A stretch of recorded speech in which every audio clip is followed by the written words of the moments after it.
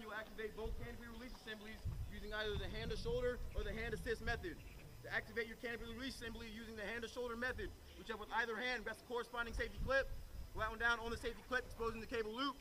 Insert your thumb bottom of the Next item I will cover is tow jumper procedures. Jumpers hit it.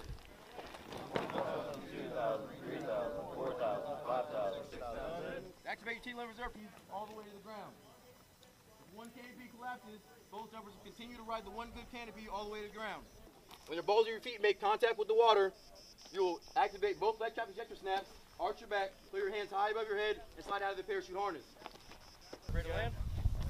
Land. So you There we go. All right. Ready to land? Don't, don't fight your mom. get ready. Hands up. One, land. There you go. Young guys. All right. Front your choice. Get ready. You ready?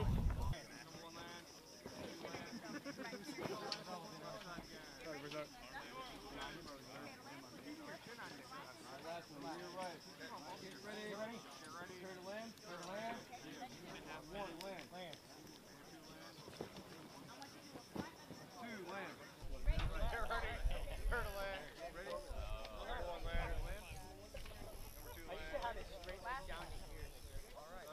One, land.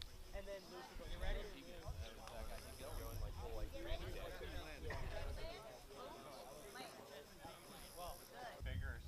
Exit. Watch this demonstration. Stand back. Green light. Go. Go. Look up. Stand up. Look up. Once they do one on this side, switch. No, just do two on the same door. Go. Do two on the same door. Status one. Look up.